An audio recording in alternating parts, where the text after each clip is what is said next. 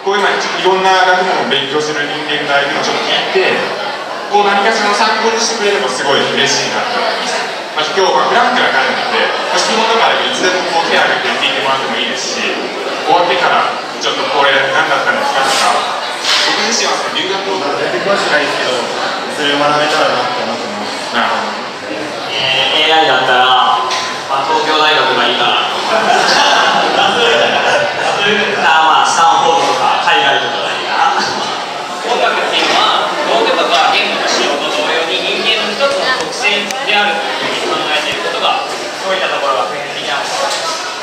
音楽っていうのはみんな持ってるんだけどその中でどういった要素が普遍的なのかっていうそれは叩いた瞬間に音が鳴るんですけど叩いて何ミリ秒とかに来ると自分の音じゃないっていうふうに書き方をちょっと見てもらいたい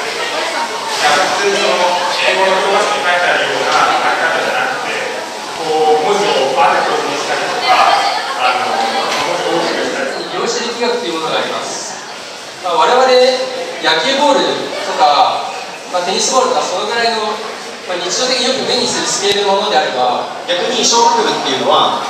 えっとまあ、特にマネジメントマーケティング人に関する、えー、学問を扱うものにあの関して特に言われることなんですけど非合理的ないわゆるバランスシートっていうのがあるんですけどそれって、えっと、経営の状況を数値化してそれをあの出さないといけない法律があるんですよ。えー、とまず、まあ、従来までの心理学とか社会学ってのはどういうものかって言いますとまず考察、まあ、それはもちろんあの実実際の社会にいて考察をするんですがその考察をもとにモデルを作成してモデルを構築してそれを用いて社会とか心理を分析していく状況によって閉じられたり開かれたりする例えば、えー、アメリカと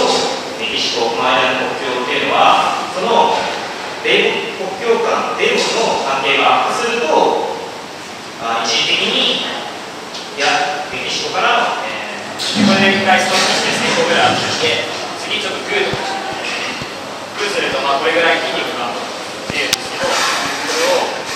でもやっぱりそうやっていろんな学問をこう見た見て見てみた上であのいろんな感じ。それで場を作ろうっていう話をずっとしててで結局どうするってなった時に、まあ、久我山だし久我山でやるかってことで。でそしたら在校生の人もさっき小崎言ってくれたようにあの将来の、まあ、なんていうかその方向性っていうのを提示できるし、まあ、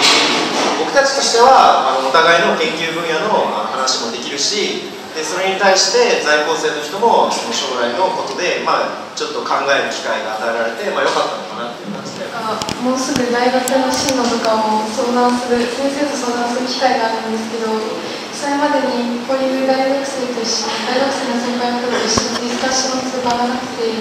全然自分の研究が足りなくて自分の進路が決められない例えば世界史の中にも、まあ、社会学に通じるものもあるし普通に歴史純粋に歴史に通じるものもあるし文学に通じるものもあるでこのエッセンスの中どれが好きって全部平均して覚え覚えちゃうと分かんないんですよ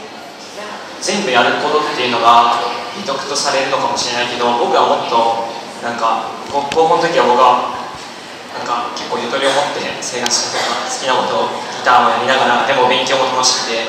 勉強なんか大好きでやっててっていうのでなんかそのそういう幅を持ったからこそ自分はいろんなことをなんか勉強に関係受験に関係ないことでもあの知れたからなんかすごく興味に幅が持ってたって